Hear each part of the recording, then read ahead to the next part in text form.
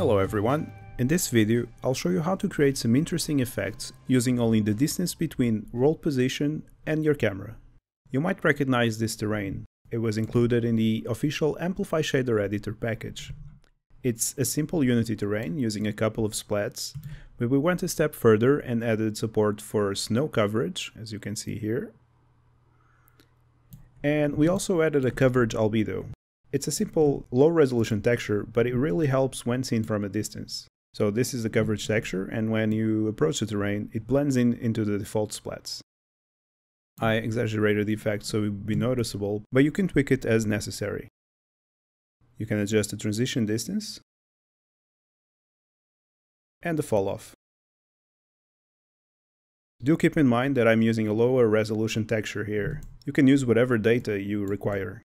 Let's create a new scene and a new shader. I'll walk you through the process of constructing your own distance control for your blending effects. Let's begin. I'll start by creating a new Amplify shader. Right click, Create, Amplify shader, and I'll select Surface shader for this one. I'll name it. I'll create a new material. I'll also call it Distance Blend. Double click to open in the editor. And I'll also name it, you've guessed it, Distance Blend. Let's create a simple plane Let's just pull it up a bit. There we go. And apply that material. Okay, and we're ready to begin. The first thing we must do is decide what we want to blend based on the distance between the camera and the plane. I'll just zoom in, and we can start by adding two colors by pressing 5 and left click. I'll set them to property, and we're going to blend these two colors. I'll use red and green, but you can use anything you want. For example, uh, texture or float, it's entirely up to you. I'm going to add a world position node, a world space camera position node, and the distance node. I'll connect the two If I were to connect this node directly into the debug port, we wouldn't see much of an effect, because we have no way to control the actual distance. So before we do that, I'll walk you through what each node does. The world position node simply provides the per pixel position of any given surface in world space. The world space camera position node outputs the current camera position in world space. And the distance node outputs the Euclidean distance between two values or vectors. Now all we need is some form of control for this distance. In this example, I'll add a divide node using its shortcut key D. I'll add a float using its shortcut key 1 and left click. Set it to property. Connect it. And let's change its name to transition distance. Connect the divide to the debug port and compile. Simply by dividing the distance resulting from the world position and world space camera position, we can actually control the point in which the blending effect starts to appear.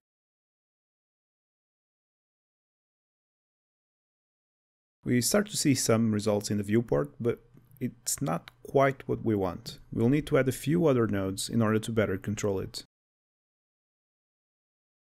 From the viewport, you can see that it seems that the fall off is a bit high, perhaps. So we'll have to have a way to control that. And the best way is to add a power node. You can use its shortcut key E and left click. Let's Alt and drag the node into the wire in order to take advantage of existing connections. We'll need a float for the exponent. Let's use the shortcut key 1. Set it to property. And let's call this one transition fall off.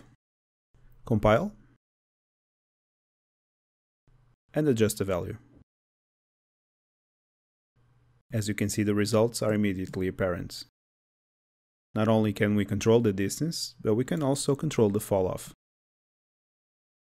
Quite useful. In order to avoid incorrect values, it's best to add a clamp node. Let's limit it from 0 to 1 and compile. This node will make sure that our values will never go higher than 1 or lower than 0. If you're not familiar with any of these nodes, I recommend checking the beginner tutorial series available on our YouTube channel. So we've created a pretty cool distance-based effect, but now we should try it on a real case. Let's blend our two colors. For that I'll use a simple lerp node. You can create it using the shortcut key L. Let's connect them both. And we'll use the resulting value from the clamp as the alpha. Let's disconnect the debug port and connect the lerp directly. As you can see, let me just adjust the nodes here. The distance-based effect is now using the two colors that we previously created.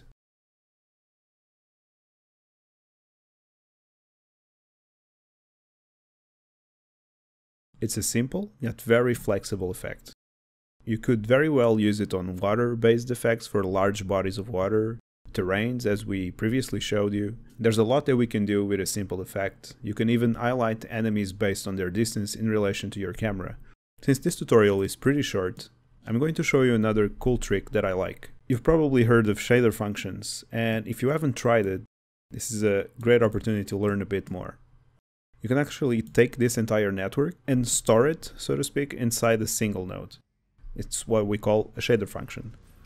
I'll show you how to build one.